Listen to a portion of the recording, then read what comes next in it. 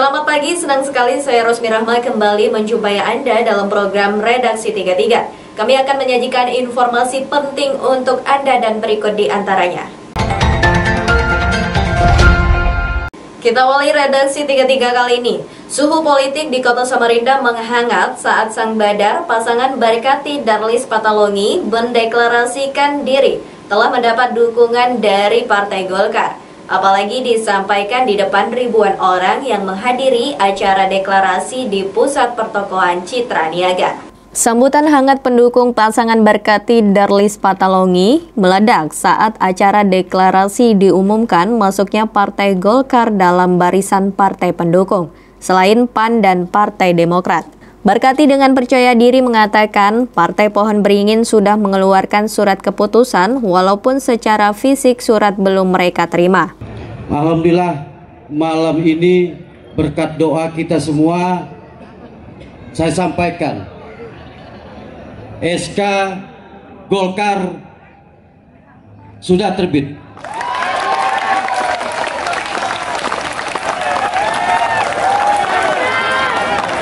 Jadi kita ada tiga partai yang sudah pada deklarasi hari ini Demokrat, PAN, dan Golkar.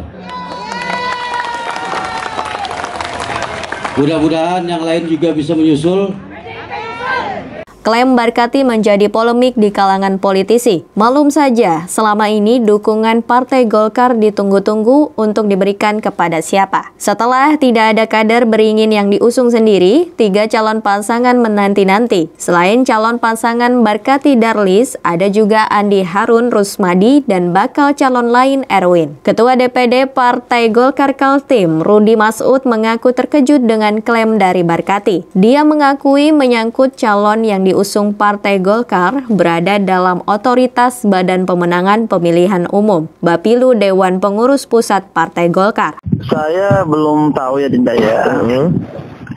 Yang kami ajukan di sana itu kan adalah Andi Harun. Siap. Terus Madi Wongso dengan Pak Barkati dengan Darlis Patalomi. Ada Siap. tiga sebenarnya. Sama Bang Erwin. Sama Erwin. Tetapi Siap. saya belum tahu ada uh, surat yang keluar dari DPP tapi setahu saya belum ya keluar setahu saya belum ada keluar karena kami kemarin di Brau uh -uh. hari ini kami akan melaksanakan uh, sekarang mau jalan ke PPU besok kita mesti di PPU. Siap. Tahu saya belum ada. Tahu saya belum saya belum belum mengetahui minta tapi tahu saya belum ada. Oh begitu bang. Tahu saya belum ada. Berarti hoax lah yang dibilang ya. Pak Barkat itu tadi malam nih Pak. Bukan bukan hoax, saya takutnya belating kan gitu cuma berlatih supaya arahnya ke sana membuat suasananya semakin uh, hangat kan gitu. Hmm, gitu. Tapi tahu saya belum, Dinda. Tahu saya belum. Hmm, baik, baik. Berarti saya bisa pertanyakan lagi dong landasan abang aja sebagai pimpinan di daerah gitu. Saya belum ada. Saya belum ada. Kalau komunikasi abang dengan Pak Barkati bang? Saya tidak nggak pernah komunikasi ya dengan Pak Barkati ya. Oh nggak pernah bang ya? Ya artinya dalam satu dua tiga empat minggu ini satu bulan terakhir ini saya tidak pernah komunikasi sama beliau. Walaupun tanpa didukung Partai Golkar, pasangan Barkati Darlis sudah bisa melaju sebagai peserta pilkada di kota Samarinda. Dua partai yang lebih dulu mengusung, Partai Amanat Nasional dan Partai Demokrat, sudah cukup 9 kursi sehingga memenuhi persyaratan mendaftar ke KPU. Tim Kaltim TV, Hardin, melaporkan.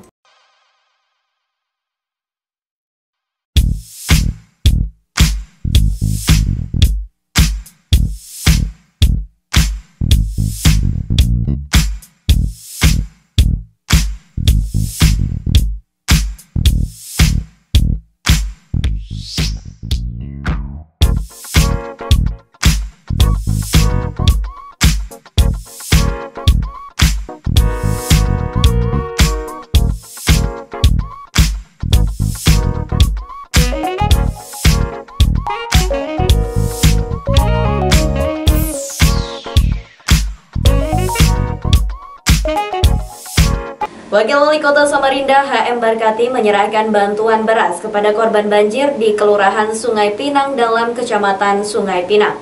Bantuan bersumber dari Pemkot Samarinda dan Pemprov Kalimantan Timur. Acara penyerahan bantuan dilakukan secara simbolis kepada perwakilan warga Sungai Pinang Dalam. Di kawasan itu diketahui banyak yang menjadi korban banjir ketika hujan tiba. Bantuan diberikan oleh pemerintah karena memang baru bisa didistribusikan pasca banjir. Pasca banjir, namanya juga pasca banjir. Namanya pasca banjir itu setelah banjir. Nah, kita tahu entah seminggu, dua minggu, yang penting semua kan proses, ada proses administrasi. Semua tergantung daripada uh, kesediaan pangan kita. Alhamdulillah uh, satu Samarinda 56 56 ton ya 54 ton Untuk warga yang baru saja berapa? 55 ton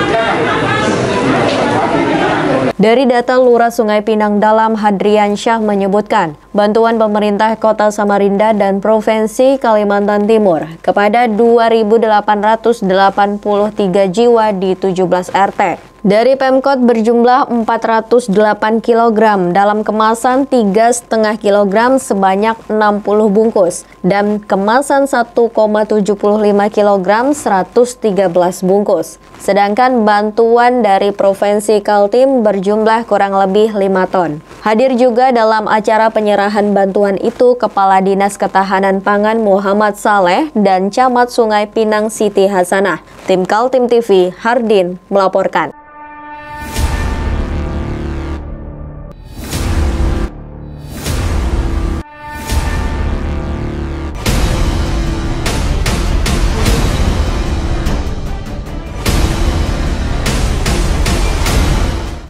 Tim Satgas Penanganan COVID-19 di Kota Samarinda terus bergerak.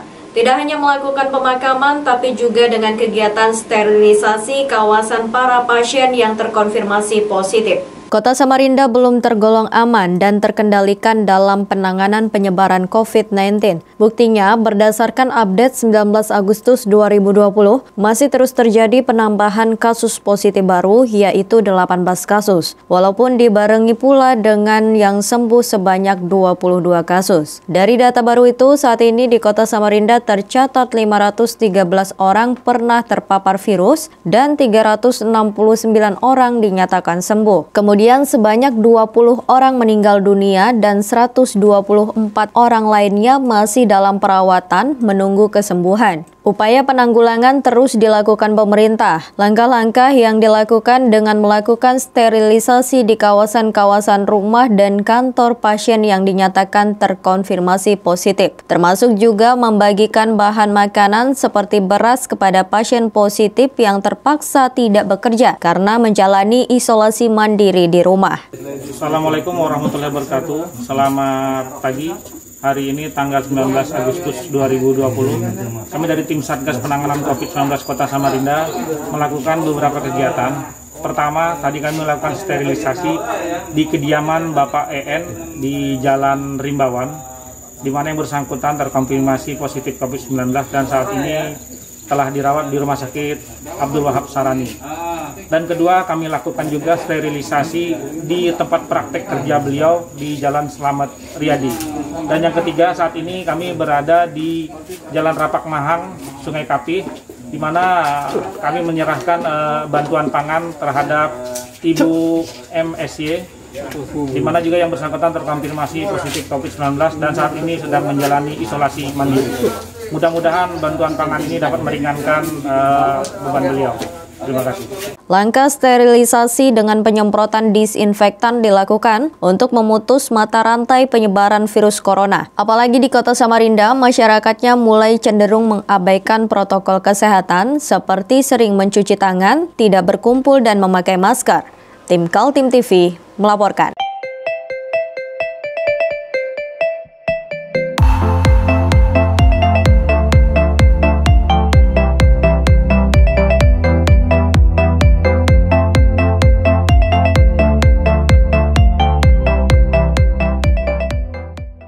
Kisah-kisah dramatis juga terjadi terhadap pasien-pasien tertular virus di Kalimantan Timur. Setelah di Balikpapan seorang dokter terkonfirmasi positif virus corona meninggal dunia, Sehari sebelumnya di kota Samarinda juga ada kisah suami istri yang salah satunya berprofesi dokter dijemput karena terpapar COVID-19.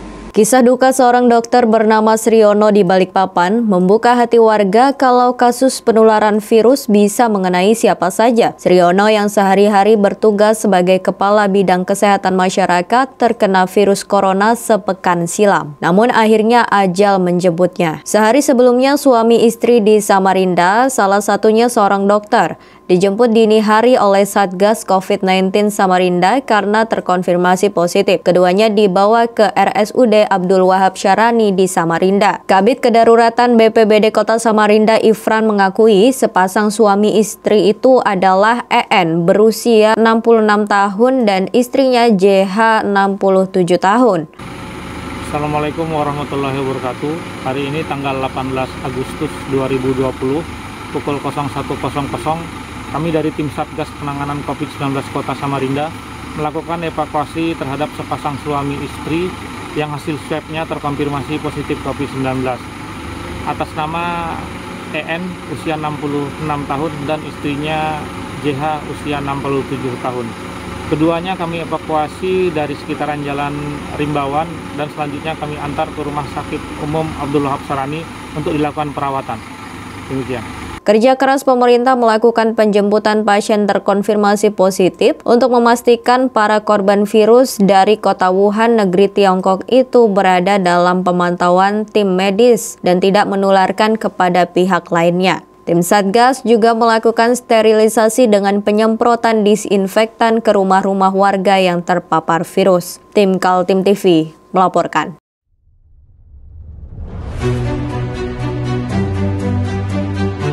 Ini kita ada kegiatan uh, untuk membungkus uh, sembako untuk dibagikan ke masyarakat yang membutuhkan karena COVID-19 ini. Semoga kita sukses semua. Amin. Harus kerjasama yang bagus. Pancasila! Amin. Pancasila! Amin.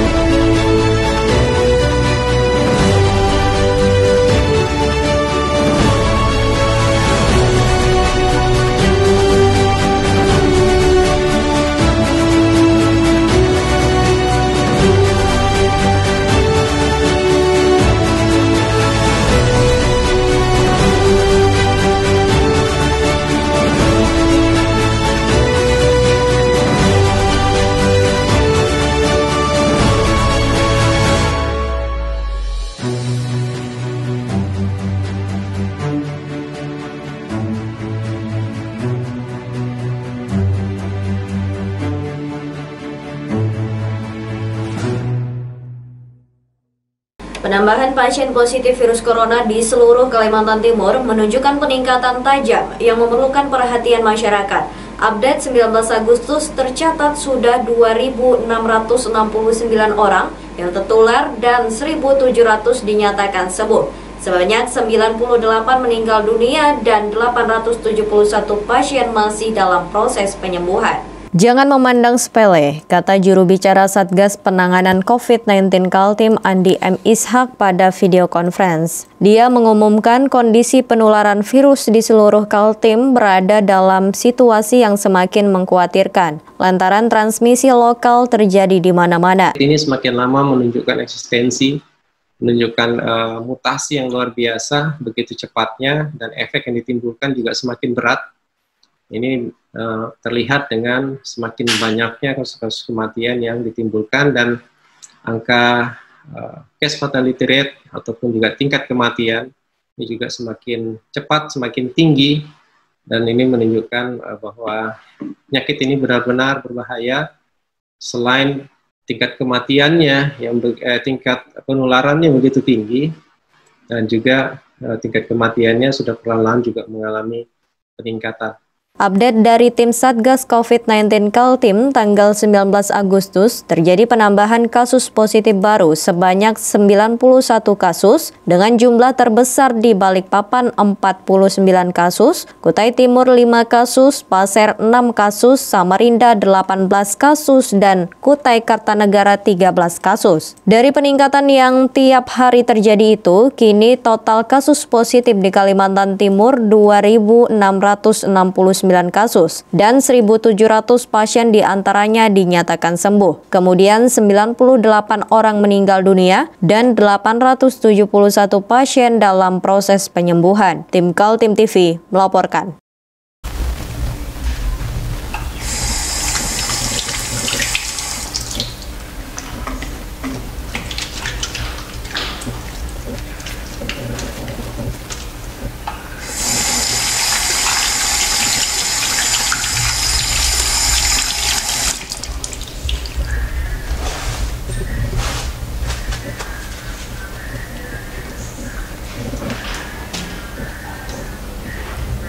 Meskipun di rumah saja, kita tetap selalu menjaga kesehatan, cuci tangan, menggunakan hand sanitizer. Ingat, mulailah dari diri sendiri. Dua lagi korban virus dari kota Wuhan negeri Tiongkok di kota Samarinda meninggal dunia. Mereka tercatat sebagai jenazah ke-30 dan ke-31 yang dikuburkan di pemakaman khusus Raudatul Jannah Jalan Serayu, Tanah Merah, Samarinda Utara. Berikut informasinya. Sayup-sayup terdengar ajan saat jenazah dikuburkan dengan protokol pasien COVID-19 di kawasan pemakaman Rawdatul Jannah Jalan Serayu, Tanah Merah, Samarinda. Suara ajan itu terdengar dari kejauhan dari pihak keluarga yang memaksa tetap ikut mengantarkan ke tempat peristirahatan terakhir pasien yang terkonfirmasi positif.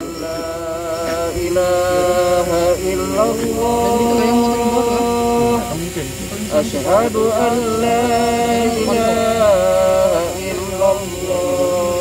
Pihak keluarga hanya memandang dari kejauhan, keluarganya dikuburkan oleh petugas dari BPBD yang menggunakan baju hazmat putih-putih. Hanya para petugas dengan pakaian APBD lengkap yang dibolehkan dengan jenazah karena rentan dengan penularan. Di kuburan yang khusus disediakan pemerintah kota Samarinda itu, kini sudah 31 liang kubur ditempati jenazah korban virus corona. Assalamualaikum warahmatullahi wabarakatuh. Selamat siang. Hari ini tanggal 20 Agustus 2020 Tepat pukul 11.30 Kami melakukan pemakaman yang ke-30 dan ke-31 Terhadap dua jenazah. Pertama atas nama PM usia 44 tahun Berjenis kelamin perempuan beragama Islam.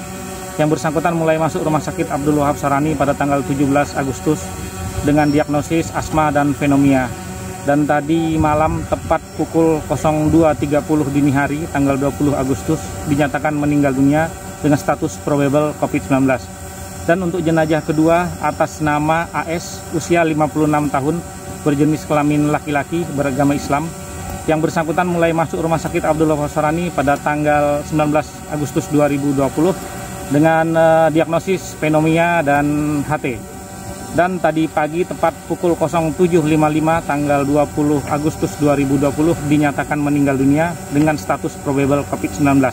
Dan saat ini sedang kami lakukan pemakaman secara protokol COVID-19 di pemakaman Raudatul Jannah Serayu Tanah Merah, Samarinda. Update pasien COVID-19 di kota Samarinda 19 Agustus 2020 sudah ada total 513 orang tercatat terkonfirmasi virus corona. Sebanyak 369 orang di antaranya dinyatakan sembuh dan 20 orang meninggal dunia. Sebanyak 124 orang pasien positif lagi kini dalam proses perawatan menunggu kesembuhan. Tim Kaltim TV melaporkan.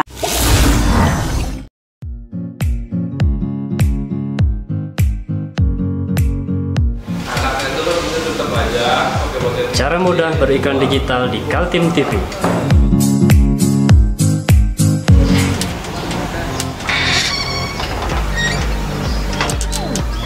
Yang pertama, jadilah sahabat Kaltim TV.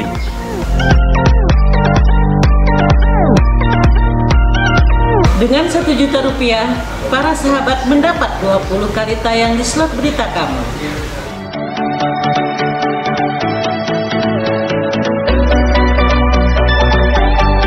Dengan 20 detik dapat menjangkau 20.000 penonton. Anda beruntung karena mendapat kesempatan perdana dari kami. Ayo jadilah sahabat Kaltim TV. Informasi selanjutnya tetap harus bertahan di tengah badai pandemi virus COVID-19. Pelabuhan kapal Kelotok beroperasi normal meski mengalami penurunan jumlah penumpang hingga 50 persen.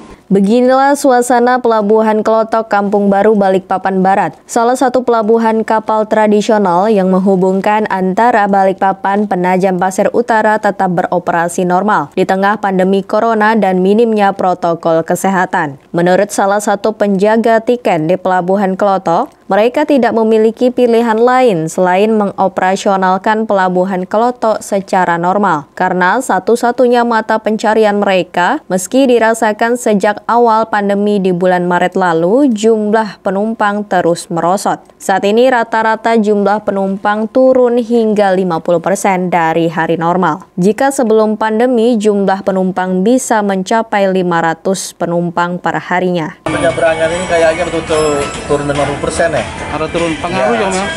Biasanya kalau hari-hari itu Sabtu Minggu itu ada lumayan itu penyeberangan itu. 50 persen itu berapa mbak? Pokoknya dari 100, iya. turun 50 separuhnya. Separuhnya ya? Iya. Selama separuhnya. pandemi ini ya? Iya, itu Sabtu Minggu loh ya. Uh -huh. Kalau hari biasa lebih parah lagi. Lebih parah lagi ya. Tapi ya. tetap masih bertahan om ya? Tapi bertahan aja itu aja kerjaannya orang di sini pesen kapal-kapal itu nggak ada yang lain.